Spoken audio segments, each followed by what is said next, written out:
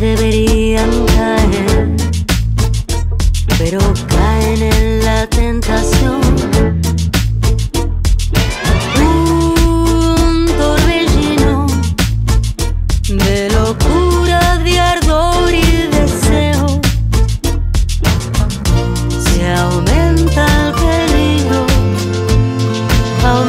La l'excitation.